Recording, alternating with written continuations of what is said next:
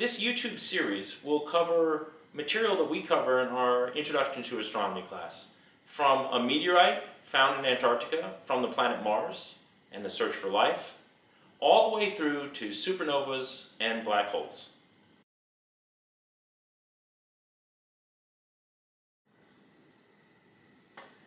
So now that we got a sense for the different types of light, from radio down one end to gamma ray down the other.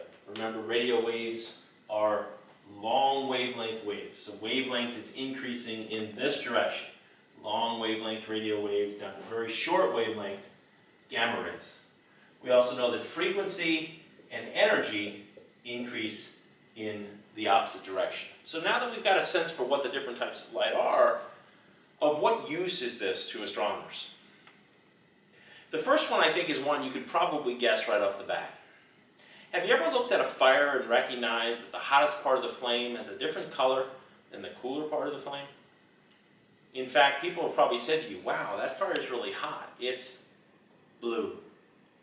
The blue part of the flame is hotter than the orange part or perhaps the red part of the flame. Does that make any sense? I think now that we've put two and two together here and we recognized what the difference is between red and blue, we recognize that it makes total sense that there is a relationship between color, or what the book refers to as peak wavelength, right? So you say something's red or green, it has a certain peak wavelength, it has a certain color.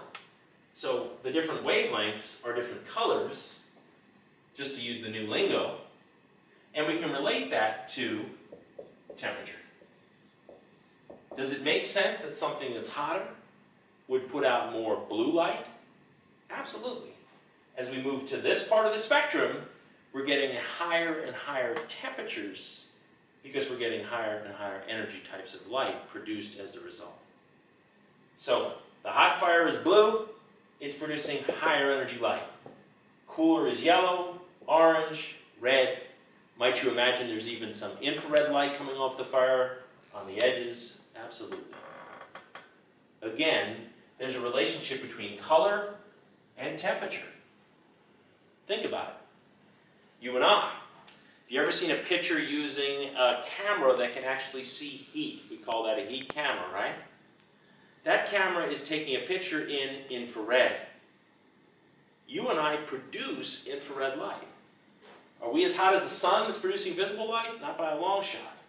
We're cooler than the sun, Therefore, our peak wavelength is down in the infrared part of the spectrum. As I alluded to in an earlier video, cool pods of gas floating in the universe might produce microwaves or radio waves. By the same token, hot collisions between galaxies, collisions between black holes can create bursts of X-rays and gamma rays, exploded stars, etc. So the reality is, is that temperature can be measured using color. And it can dictate what type of telescope, what type of sensor we want to put on in order to study one phenomenon or another. So astronomy uses all the different types of the spectrum as we alluded to before, and there is a connection between color and temperature. We'll talk in a minute about what else we can learn from light.